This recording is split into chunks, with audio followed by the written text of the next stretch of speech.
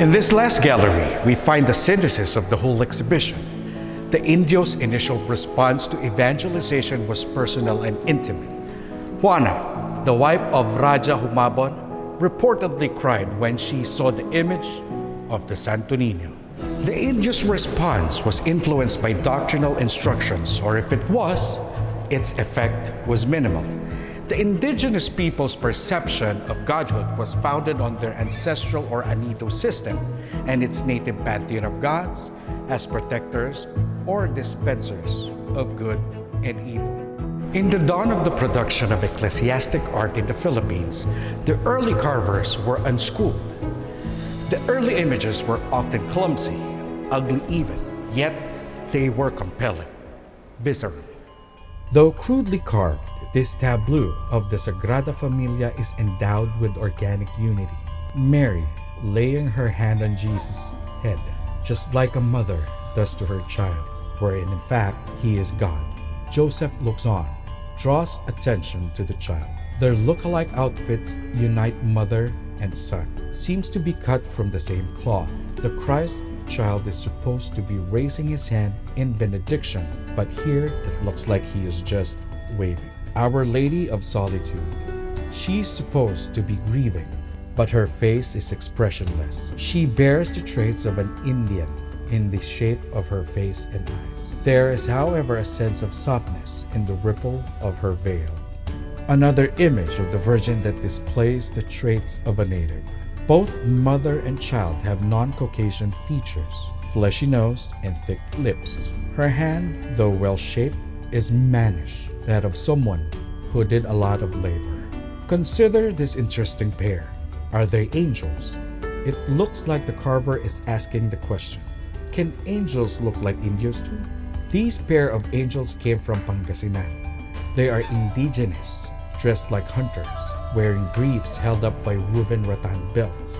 On their shoulders are similar woven straps that held bamboo containers for blowguns or arrows. This crucifix is the smallest in the collection, yet one of the most interesting. It is made out of guava. Just like the angels, he is wearing something native. Instead of a crown of thorns, he wears a headband made out of woven rattan. Look at his face as well. It resembles a ritual mask. This crucifixion scene is an example of Filipino ingenuity. The Indio made a version of the Victorian glass dome that contains ivory images. Here, using recycled materials, an empty apothecary bottle, cotton, cardboard, and glitters, he assembled the images of the crucified Christ, the Virgin, and Saint John. Interesting detail to observe is the palayok on the Virgin's head. Recall the point that the indigenous people's perception of godhood was founded on their ancestral or Anito system and its native pantheon of gods as protectors or dispensers of good and evil. When the Indios were evangelized, the patron saints took the place of their gods. In the changing landscape of their now colonized homeland, they found comfort in the intercessions of the new faith. For strange new illnesses that their own remedies could not heal, there was San Roque with a gaping wound on his leg to turn to. For the failing harvest, there was San Isidro to soothe their sufferings under the conquistadores. There was Christ on the cross or the Dolorous Mother, with whose sorrow at her loss they could sympathize. This image of San Roque is characteristically Pangasinan. San Roque is the guardian against pestilence. He is normally portrayed with a dog and an angel. According to accounts of his life, when he was afflicted with the plague, he took shelter in the forest. A dog owned by a noble man visited him every day, bringing him bread and licking his wounds. Here the dog looks like what we call an askal, a native dog. This image of San Roque is particularly interesting because he is wearing a conical hat like a salapon. It seems that the carver has put an element of the native costume to the image of the beloved patron saint. San Isidro is the patron of farmers. The carver of this relief of San Isidro Labrador has understanding of perspective. Although the angel and the man plowing the field in the background are extremely small. The relieve tells the story of San Isidro, who often went to Mass, thus the church in the foreground. He was always late for the field, much to the dismay of his co farmers and landlord. However, in order for him to continue his spiritual service, an angel was seen plowing his field. This relieve of San Isidro is more colorful and ornate. It has a rococo frame and has a higher level of sophistication than the other. This image of the Virgen Dolorosa from 19th century Laguna resembles that of the popular image known as the Nuestra Señora de los Dolores de Turumba, venerated in Pakil. Her face is framed by a rostrillo, an oval set of rays. This is an example of an image for home veneration that was copied from a church venerated image.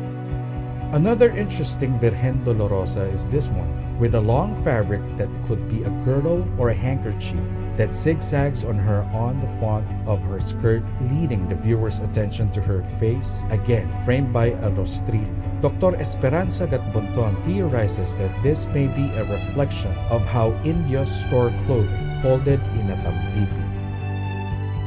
This compelling image of Christ, called Ecce Homo, is a Molave piece from Pico. His arms are bound, he is half naked, yet his face shows great calm as if he is in deep meditation. Christ here is being presented to the populace who is calling for his death.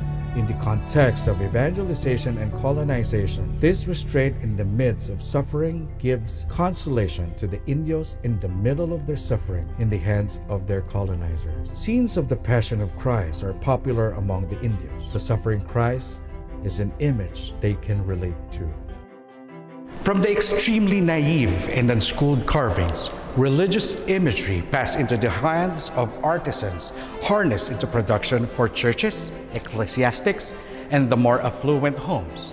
Hardwoods like Molave and Narra were reserved for church santos. The high relief carving depicts St. Augustine and a moment of enlightenment. His desk quill pen in hand with an angel holding the inkwell. Atop his desk are his crozier and mitre, while overhead a smiling virgin holds a book. The Holy Spirit hovers overhead. Doctors of the church, like St. Augustine, are often depicted with the Holy Spirit, giving instructions and enlightenment. This is a rare depiction of the Calvary scene showing God the Father wearing a papal tiara set in recess from the earthy scene surrounded by swirling Chinese clouds and cherubs. At the forefront is the dead Christ on the cross. Below, Mary and John with faces lifted upward, contemplating Christ. At the foot of the cross is Adam's skull. Behind the head of the Father is a triangle, symbol of the triune God, and above it, the Holy Spirit. San Jeronimo is one of the four Latin fathers of the Church, a biblical scholar. He translated the New Testament, known as the Latin Vulgate. He lived as a hermit at one time and was known to beat his chest with stone in atonement for his sins. He is one of the staunchest defenders of celibacy for priesthood. This is San Gregorio Magno. He was a brilliant administrator, establishing the form of Roman liturgy and its music, thus the term Gregorian chant. He instituted the rule celibacy for the priesthood. He is shown wearing his papal attire and the papal tiara. This image of San Mateo Apostol is meticulously carved from Molave. The folds of the garment fall precisely into place. He holds a book as one of the authors of the Gospel and wears a shoulder bag to indicate that he was formerly a tax collector. This is an exquisite image of the resurrection of Christ. Its vestments have red hues, similar to the large relieve in the courtyard. Notice how the image balances on the right leg while the left leg gracefully bends backward. It looks like he is dancing. It is in the realm of folk images However, that the Filipino Santeros achieve originality, unleashing vibrant colors and floral designs and expressive imagery, as in this collection of urnas. Urnas are home altars that contains images of saints. They sometimes imitate the retablo of the local church. This is an elaborately constructed urna with broken pediment covered with sprigs of flowering plant and dentils on the upper portion. The segmented cornice has leaves in variegated colors. The stout columns are wrapped with flowering vines, while column heads are covered with fruits. The flanges are composed of scrolls that appear to germinate with drooping flowering plants. This urna resonates with motifs and strong colors of southern Philippines. The pediment, composed of three separate carved segments, is a mass of leaves and flowers, dominated by the red bud at the center. The pillars are festooned with flowers. Fruiting plants are incorporated in the foliated flanges. Note the two kneeling figures at the base. The composition of the urnas also evolved. Here, the main construct is mounted on a wooden gradilla or small steps, and a new motif appears formal floral arrangement in vases. The floral motifs on the flanges are more delicate, like embroidery on fine material. A new religious motif, the triangle surrounded with golden rays, symbol of the Holy Trinity, is introduced in the pediment. This urna with three-paneled Rococo crown pediment has a four-paneled door. The inner sides of the dorm frames have paintings of saints. The left side has an Augustinian saint, perhaps Santo Tomas de Villanueva and Saint Joseph. On the opposite side are the Blessed Virgin and an unidentified female saint. In theory, some urnas have doors in order that they can be closed after the evening prayer. It seems that Indios have the idea that the saints should be honored with time to rest at night as well. This is the finest urna in the collection, also considered its oldest. It is mounted on legs carved with stylized lion heads. The backdrop of the urna shows Adam and Eve hiding their nakedness.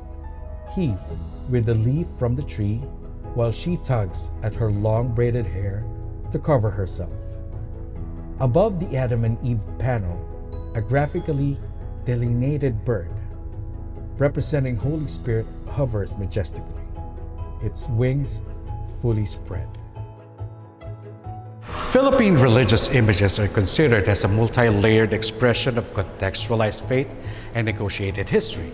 The Indio response aims to highlight the resulting Filipino artistry and craftsmanship in the merging of the indigenous and the foreign, where religious art has witness to a continuing past.